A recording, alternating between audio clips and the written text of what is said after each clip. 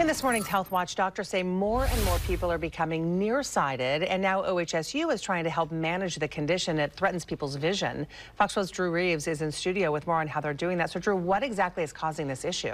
Yeah, so OHSU says that nearsightedness is increasing because more people are spending time inside and in front of screens. In fact, they say it's expected that half of the world's population will be nearsighted by 2050. So, nearsightedness is when people can see objects up close, but in the distance, things look looks look blurry. It's also called myopia.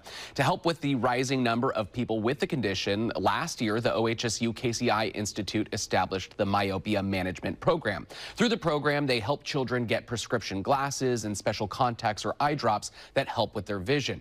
And donations have allowed them to also provide the service to low-income patients for free. 10-year-old Melody Redfield is receiving care through OHSU's Myopia Management Program. She's now using a pair of contact lenses designed to slow the progression of her nearsightedness.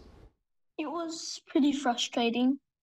Um, definitely during the whiteboard, like like when like they were showing math problems at school, um, I had to like get out of my chair and walk up to see. It helps a lot because I don't have to get on my chair, walk up, and be like, okay, this that, go back, write down, next, okay, this that.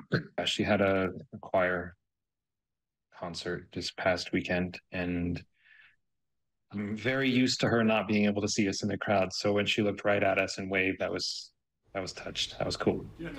Yeah, so doctors say there are a couple of contributing factors to this growth of nearsightedness, as I mentioned. The, uh, but the first is that nearsighted people are more likely to have nearsighted children, so they say the genetics plays a role. And then, as I mentioned, kids are spending more time indoors, and studies show kids who are outside are less likely to be nearsighted. Doctors say it's an important issue to tackle too because nearsightedness can cause all kinds of serious vision issues, including glaucoma or myopic macular degeneration.